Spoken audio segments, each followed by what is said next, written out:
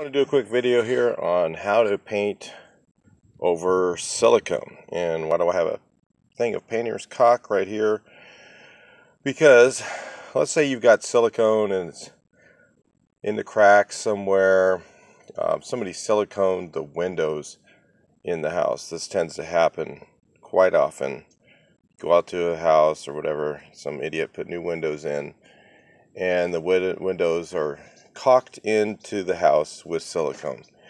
And you paint it, and the paint peels off around the windows. And you're like, damn, you know, what do I do? Maybe they use silicone in a crack somewhere. And really, you know, up to this point, the only way to fix it is to remove all the silicone. Well, so you remove all the silicone, now the guy's window's leak, and he calls you up and he's suing you and everything else. So you really don't want that to happen. So how do you fix it? How do you get paint to stick to silicone? Well, you can't. Paint will not stick to silicone.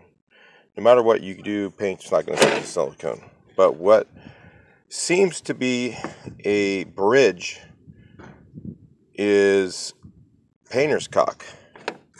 So what I do is, um, and the best one is the siliconized painter's caulk, which is the Alex Plus. This is the Alex cheap 25 year stuff. I like this because it doesn't shrink for certain things. Um, the Alex Plus shrinks a lot, so if you have you know wood that's still you know shrinking, it tends to just recrack just as bad as this stuff does. So what's the point? So with this fills a wider gap. The other stuff you can put three or four coats on. So it just depends on what you're doing.